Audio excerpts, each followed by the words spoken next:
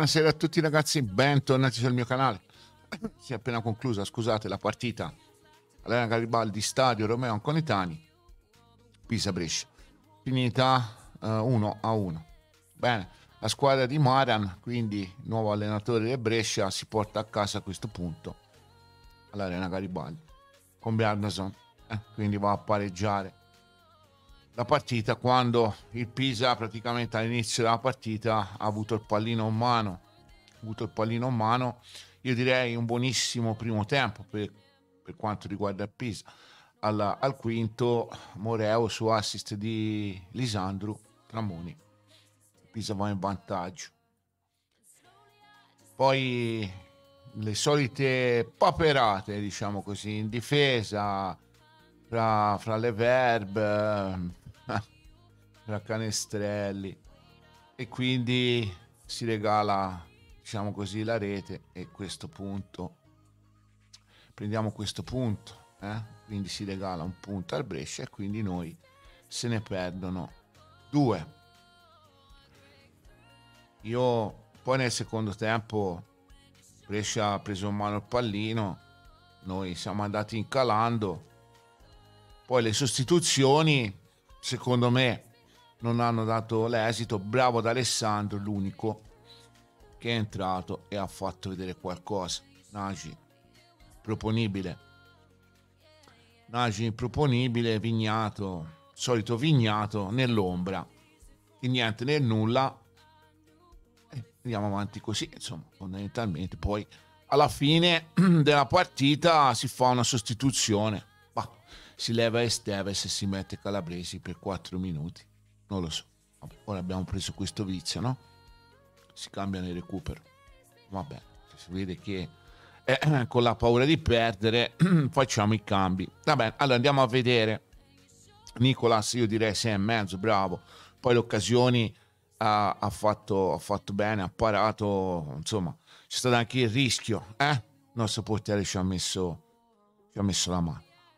Beruatto 6 alla fine perché lotta alla fine insomma è una prestazione io direi fra alti e bassi eh? fra alti e bassi e quindi comunque insomma in totale nel complesso io darei un 6 Canestrelli 5 e mezzo.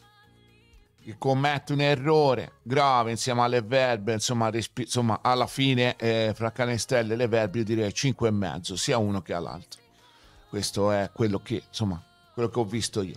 Esteves, Esteves 6. Perché spinge tanto, spinge tanto, mi piace, spinge, solo che eh, è vero che però mm, insomma nella ripresa poteva mm, insomma fare qualcosina di più perché poi si spegne, piano piano si spegne. Calabresi subentrato al 91esimo, io direi senza voto perché ha giocato praticamente niente, non ha toccato un pallone, quindi va bene così. Piccinini 6. La sua gara è stata apprezzabile, nonostante oggi qualche passaggio a vuoto sbagliato, qualcosina, qual, qualcosina di troppo secondo me, però insomma in definitiva una, una sufficienza piena. Barberis 5,5 non mi piace, non mi piace, non mi piace, purtroppo è mancato Marin, ma mm, secondo me Barberis non è non è eh, di qualità eh, diciamo alla portata di, di, Marin sicuramente. Quindi per me è un 5,5 il Tratonage 5,5 ecco. ma, ma proprio a voler di bene eh? per non dire un 5 Beh, questo, questo è questo io non, non, lo so questo giocatore. Va bene così d'altra parte. Tramoni Tramoni bravo Lisandro 6,5 perché confeziona l'assist per, per Moreo. E poi cresce, quindi è in, in, crescita, quindi per me poi colpisce anche una traversa, tra l'altro quindi per me un 6,5, bello, pieno. Valoti, Valoti oggi 5,5 direi, eh, in ombra, totalmente in ombra, non è il Valoti che abbiamo visto eh, la scorsa partita sicuramente nel Volotti che abbiamo visto a Bolzano ecco, tanto per essere tanto per essere chiari.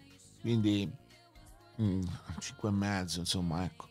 Poi Moreo, Moreo oggi bravo Moreo segnato, poi eh, gli è andata male perché ha toccato prima lui con la mano, anche se è di rimbalzo secondo me, però ha toccato prima la palla con la mano, l'arbitro, se no c'era, c'era sicuramente rigore, ma eh, ha toccato con la mano prima lui. Poi insomma è stato l'autore della rete e, e quindi io direi More oggi bravo 7, darei un bel 7 alla fine perché è stato uno dei migliori in campo. Torre Grossa, Torre Grossa 6 e mezzo, bravo, mi è piaciuto, mi è piaciuto perché insomma si è impegnato e, e, ha fatto vedere qualcosa oggi. Ha fatto tanti, tanti passanti assist insomma alla fine ma bravo secondo me oggi Torre Grosso è un 6 e mezzo pieno tutto. Gli Oz 5 e mezzo. Mm, meno presente incisivo sicuramente di Torre Grossa che è andato a sostituire. Aquilani.